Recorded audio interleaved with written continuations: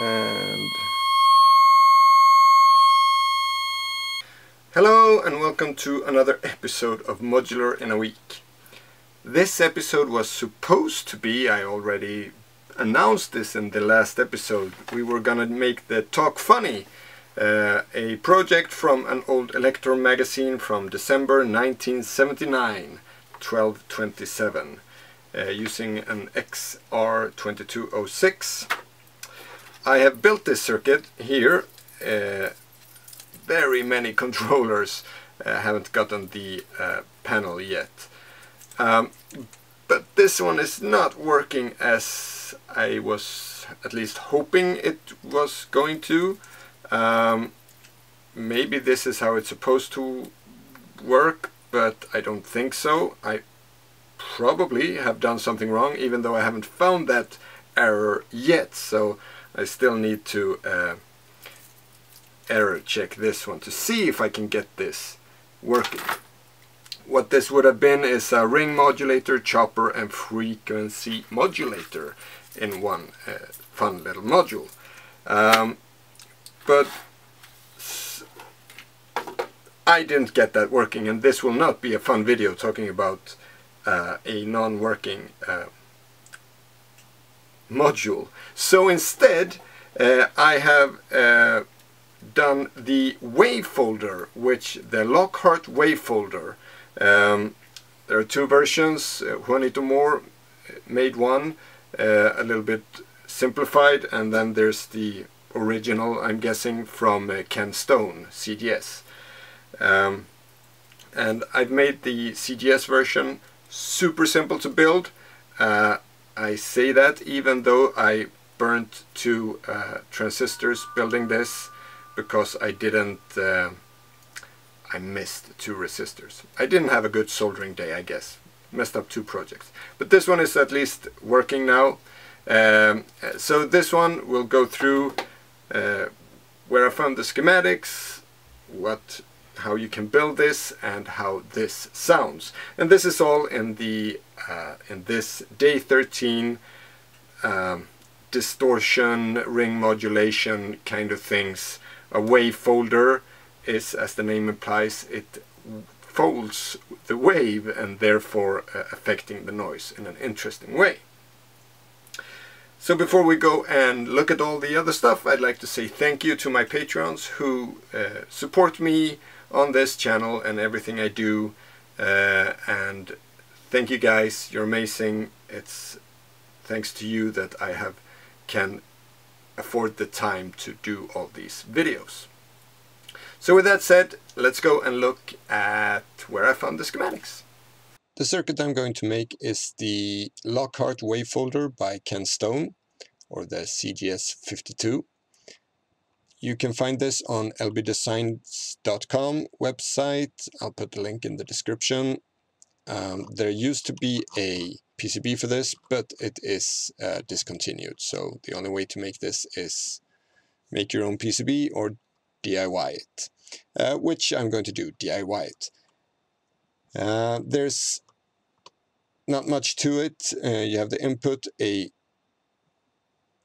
attenuator that actually affects how the wave is folded. Uh, it then goes into one PNP transistor and one NPN transistor. Um, I accidentally fried mine here because I forgot these two resistors. Uh, don't do that, you get magic smoke. I have no idea why I missed this. I'm guessing it's the simpler the circuit, you get more relaxed and you make more mistakes. The signal from here then goes into an op amp and you get the folded output here. Down here is an extra, you get pulses out, so basically this is a comparator. And when you fold a wave, you get more peaks, uh, and those the more peaks you get, you get more pulses, and you get uh, the distribution over the wave is not symmetrical on the output. So I'll show this. It's an interesting extra effect you can do with this simple circuit.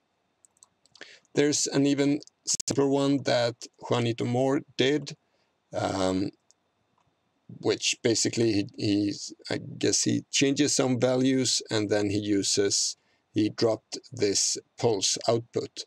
But if you use a TL072, then you still have that one floating around. So you might as well add this to a small module. One, we, we are taking up the space with a module for this, so we might as well just add one more jack to the module.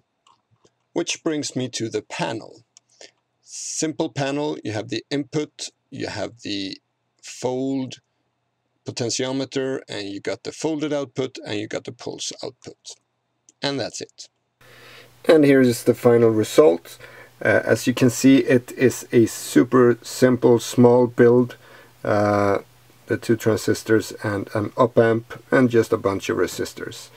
Uh, here's my two dead transistors that I had to cut off and just add the other two with that resistor in place as well between positive and negative 12 volts. That's a good thing to note is that on the schematics the upward pointing arrow is plus 12 volts and the downward pointing arrow is minus 12 volts. In some schematics that is ground. We had this discussion in the 4011 uh, build as well that here you see ground you can't see because I scratched out but here you have ground that those lines that is ground and the just an arrow down like so that is minus voltage. So just to good to keep that in mind uh, when you build this so you don't connect to ground then I guess it won't work as well.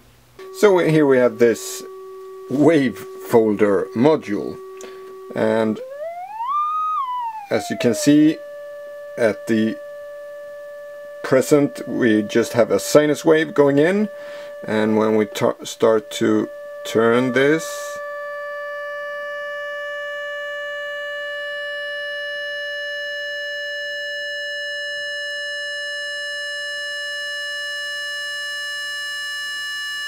we see we almost get the modular in a week logo and then it goes overboard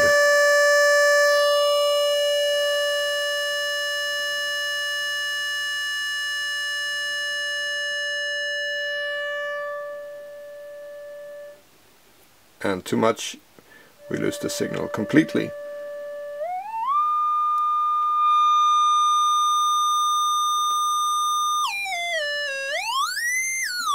So we get some really nice overtones here. And the second, so this, supposedly this is only working with sinus wave and triangle waves. So we take triangle wave something like that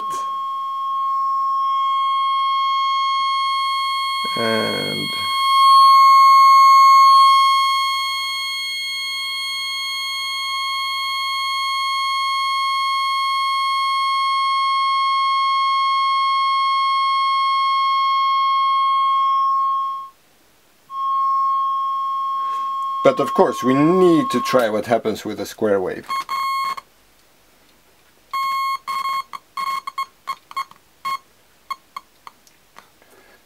Bad jack, bad cable.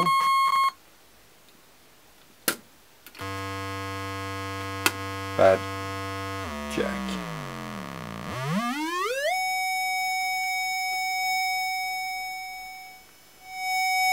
So it just, it shifts it. That's interesting.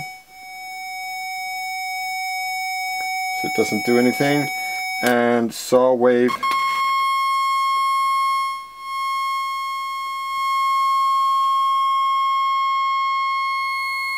oh, I say saw wave is quite interesting. Here we have the saw wave. And flips it and doubles it, right? Yeah, doubles it.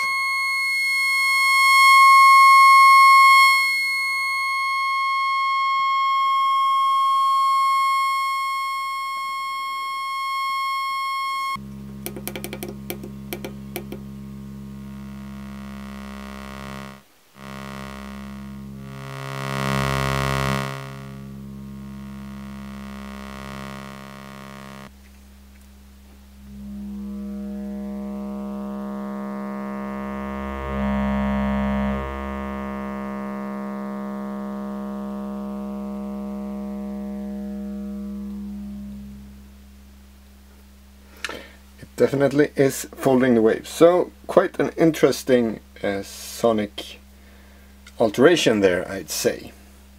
Now this one has a a um, pulse output as well. Uh, so just uh, going through a comparator with the threshold at ground.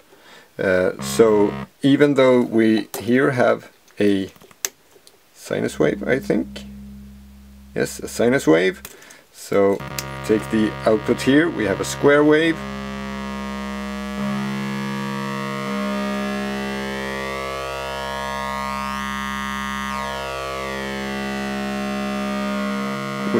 A really interesting effect.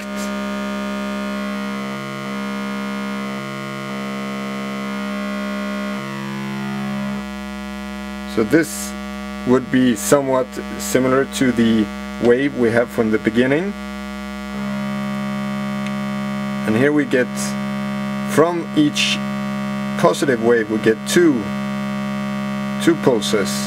So, and if we would do this really slow, as in uh, LFO mode, then we could trigger a sequencer, one, two, pause, one, two, pause, one, two, pause, with this. And if we continue even further,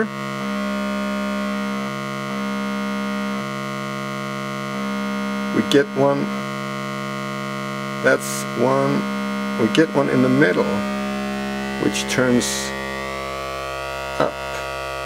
So this is an even stranger rhythm. We need to try this.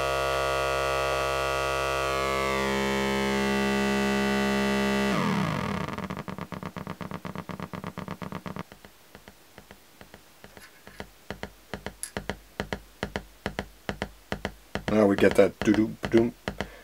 Pause, pause, pause.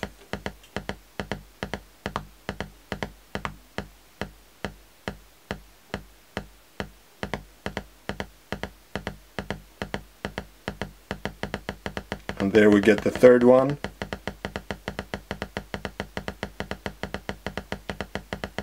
Do do do do do do do do do do do do do do do do.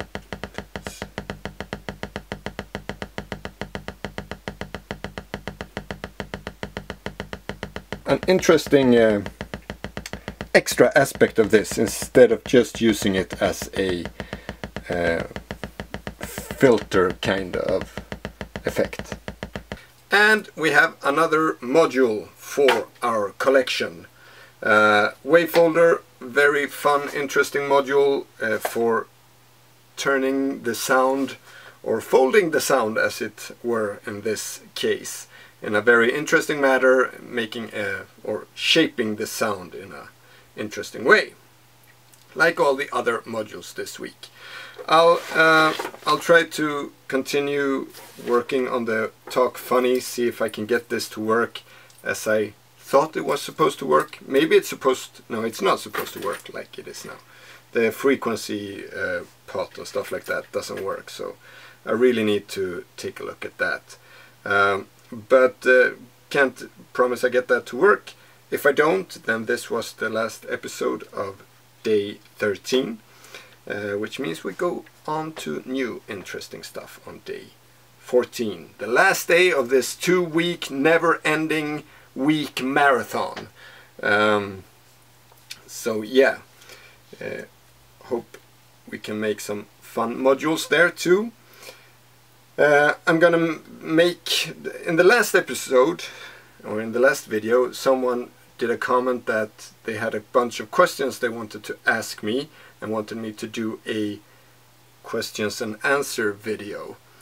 And I don't think about that normally, but when I think about myself, I think that yeah, I have a lot of questions I'd like to ask all these YouTube creators out there or and other people. Like I ask questions all the time on, on Discord. But so maybe that's a good idea. So in the next next video, I'll make a questions video just to collect all the questions there, and then I'll do a follow-up video with all the answers that I can uh, answer all those questions.